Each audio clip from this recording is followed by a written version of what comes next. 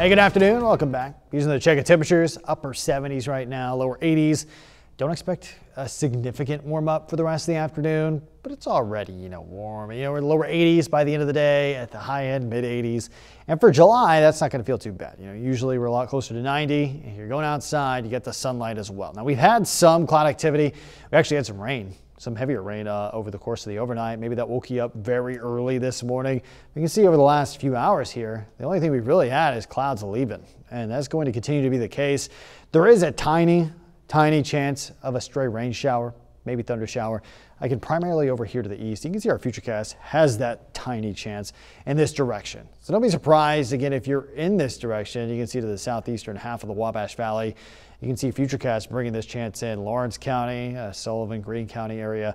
The thing is, again, this chance is so small, and everywhere else it's mostly sunny. So maybe uh, if you're outside this afternoon in that direction to the southeast, it gets dark, maybe a, a quick 20 minute rain shower, then it's sunny again. So expect a, a, tiny chance of rain. Overall, though, it's mostly clear. And, you know, our temperatures, like I said, they're in the mid to lower 80s. We don't really have the humidity that we usually have this part of the year. So again, it's not too bad if you have any outdoor plans. Uh, this is around 11, mostly clear skies. We do have that tiny chance of rain showers continuing through the night, early morning tomorrow. You can see it again in this direction to the southeast early on tomorrow. The night comes to an end here. We got mostly cloudy skies in this direction, but look, sunlight takes back over. So this is around lunchtime, lunchtime through five.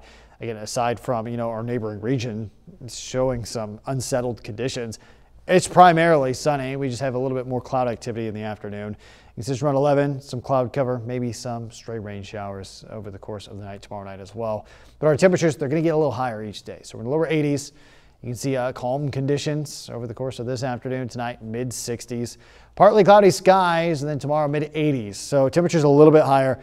And what's happening here is uh, we have much calmer conditions. The end of the last work week, start of the weekend, felt pretty good. We had a cool breeze uh, today, tomorrow, less of a cool breeze. The air is not moving around as much. Maybe that makes it less comfortable for you, It also allows temperatures to rise a bit more. Less cooler air coming in. We're in the mid 80s, and then we're going to be in the upper 80s uh, on Wednesday. A lot closer to normal for this part of July, but we do have another chance of rain.